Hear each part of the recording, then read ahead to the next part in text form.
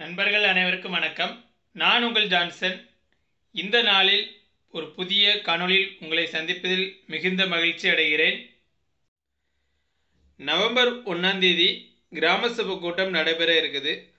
அந்த கூட்டத்தை வார்டு சுழற்சி முறையில் வெவ்வேறு கிராமங்களில் வெவ்வேறு வார்டுகளில் வெவ்வேறு பகுதிகளில் இதுவரைக்கும் நடத்தப்படாத ஏதாவது இடத்துல நடத்த வைக்க முடியுமா? அதுக்கு எதுவும் அரசாணைகள் இருக்கா? அதுக்கு நம்ம என்ன பண்ணணும்? அது குறித்த விரிவான தகவலை இந்த காணொலியில் பார்க்க இருக்கிறோம்.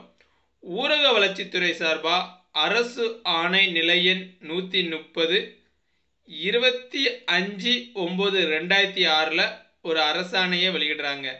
அதில் வந்து விதி எண் ரெண்டில் வந்து ஒரு தெளிவான விளக்கத்தை கொடுக்குறாங்க.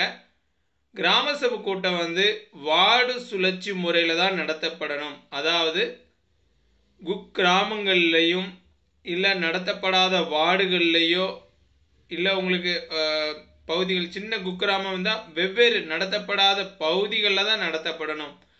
கடந்த அக்டோபர் ரெண்டுக்கு கூட அடிஷ்னலாக ஒரு பாயிண்ட்டையும் மென்ஷன் பண்ணி ஒரு சுச்சரிக்கை வெளியிட்டிருந்தாங்க. அதாவது ஆலயங்க ஆலய வளாகத்தில் அப்படிப்பட்ட இடங்களில் நடத்த வேண்டாம்.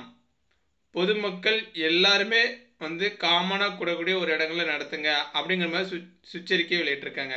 ஸோ உங்கள் பகுதிகளில் இதுவரைக்கும் கிராம சபை கூட்டங்கள் நடத்தப்படலைன்னா இந்த நவம்பர் ஒன்று கிராம சபை கூட்டத்தை வார்டு சுழற்சி முறையில் நடத்த சொல்லி உங்களுடைய வட்டார வளர்ச்சி அலுவலருக்கும் மாவட்ட ஆட்சியர் அவர்களுக்கும் இந்த அரசாணையை இது இதுவரைக்கும் நடத்தப்படாத இந்த பகுதியில் எங்களுக்கு இந்த நவம்பர் ஒன்று கிராம சபை கூட்டத்தை நடத்தித்தாங்க இந்த அரசாணையின்படி நடத்துங்க அப்படின்னு சொல்லி ஒரு முன்கூட்டியே அவங்க கவனத்துக்கு ஒரு லெட்டர் மூலமாக தெரியப்படுத்தினீங்கன்னா விரைவாக பிடிஓ கவனத்துக்கும் இல்லை ஊராட்சி தலைவர் கவனத்துக்கு லெட்டர் ஃபார்வர்ட் பண்ணி நவம்பர் ஒன்று நடக்கக்கூடிய கிராம சபை கூட்டத்துக்கு வந்து நீங்கள் நினச்ச மாதிரி வார்டு சுழற்சி முறையில் இதுவரைக்கும் நடத்தப்படாத இடத்துல நடக்கும்.